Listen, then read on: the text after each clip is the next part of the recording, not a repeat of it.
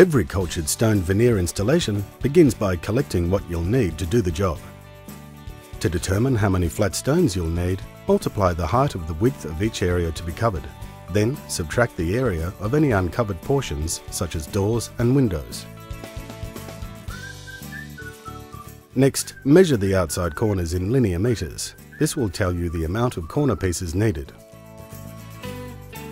One linear metre of corner pieces covers approximately 0.2 of a square metre of flat area, so you can subtract this total from the amount of flat stone required.